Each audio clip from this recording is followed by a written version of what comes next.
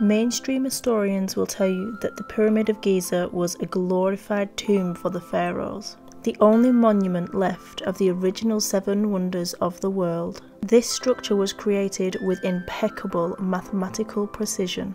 It is a unique, mysterious piece of construction. There is in fact just one problem. The Great Pyramid has none of the characteristics of a tomb. There are no extravagant artifacts, wall art, sealed entrances, or coffins or even mummies themselves. It was, however, built with unique materials, the same materials that are used today for electrical conductivity, leading more and more historians to believe that the Pyramid of Giza was not a tomb, but a power plant. Hey you guys! Before we start, don't forget to check the voting link in the description box. So I've already started off by applying my nail form and I'm coming in and sculpting this extravagant extreme nail shape, sometimes known as the razor. I've come in with two of the EzFlow acrylic powders and I've ombreed them down the nail, making sure to take care and apply only thin layers so we can come in and apply our glitter and cap in clear. It's always important to cap any glitters or design powders in clear to add structure and strength to the nails and also protect your designs. I'm then coming in with some gel paints and a detail brush and painting the Eye of Horus. This is an Egyptian symbol to symbolise protection, royal power and good health. Next I'm moving on to the pinky nail and I'm doing an extreme stiletto shape with some gold glitter acrylic and the clear acrylic from EzFlow. Then detailing hieroglyphics in with gel paint and top coating for a high gloss shine. I sourced a template off the internet for a pyramid shape and then I've come in with a plastic baggie and sculpted my sides of the top, constructed my pyramids and now I'm coming in with some gold gel paint and I've um, completely covered the pyramids and then I'm coming in with a black detail brush. I had to include one of the Egyptian famous symbols, which is the Ankh, I think is how you pronounce it, and this is a symbol of life or life itself. And of course, I had to include a pharaoh in all his glory, covered in gold.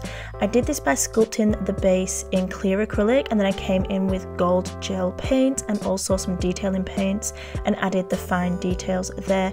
Just remember to flash cure between each gel paint paint process when you are happy with the position.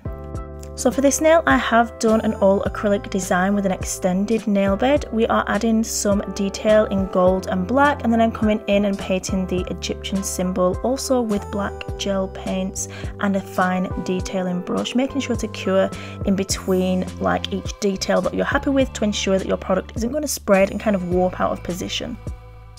Next I'm coming in to create my giant piece, my pyramid that lights up with the electrical force and energy created by the pyramid itself of course.